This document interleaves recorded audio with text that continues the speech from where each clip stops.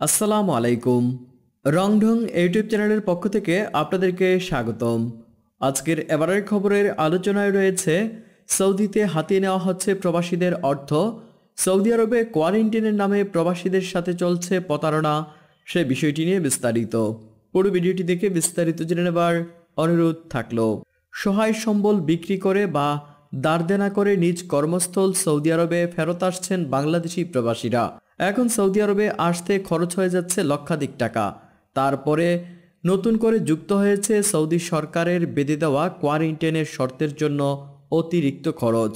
বিমান বাংলাদেশ এয়ারলাইন্সের মাধ্যমে থ্রি স্টার মানের হোটেলে সাত দিনের কোয়ারেন্টাইনের জন্য পরিশোধ করতে হচ্ছে সত্তর হাজার টাকার উপরে, অথচ তাদেরকে রাখা হচ্ছে একটি ফার্নিশড অ্যাপার্টমেন্টে, যেখানে খাবারের মান নিম্ন এবং চাইলে পানীয় পাওয়া যায় না বলে অভিযোগ প্রবাসীদের।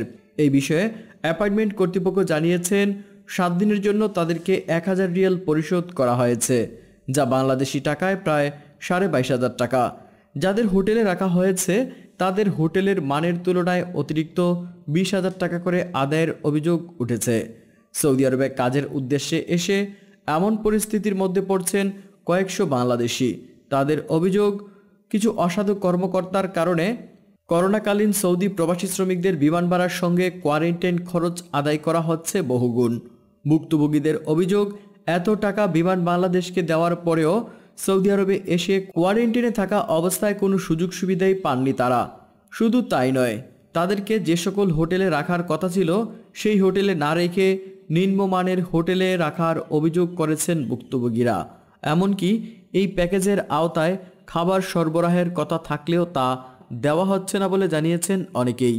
খোঁজ নিয়ে জানা যায়, ভুক্তভোগীদের এমন অভিযোগ জানার পর সৌদি আরবে নিযুক্ত বাংলাদেশের রাষ্ট্রদূত ডাক্তার জাবেদ পাটোয়ারি দূতাবাসের কয়েকটি দলকে পরিদর্শনে পাঠিয়েছেন। পরিদর্শন দলের প্রতিনিধিরা গিয়ে দেখেন, বাংলাদেশি কর্মীদের যে সকল হোটেলে রাখার কথা ছিল, তার পরিবর্তে অন্য দেশের নাগরিকদের সেখানে রাখা হয়েছে। দূতাবাসের কর্মকর্তারা গিয়ে জানতে পারেন কোয়ারেন্টাইন ব্যবস্থার সঙ্গে জড়িত রয়েছেন একজন ভারতীয় নাগরিক। তার সঙ্গে যোগাযোগ করার পর জানা যায়, বাঙালিদেরকে কিছু দূরে একটা কথিত মানের ফার্নিশড অ্যাপার্টমেন্টে রাখা হয়েছে। সেখানেও দূতাবাসের প্রতিনিধিরা গিয়েছেন।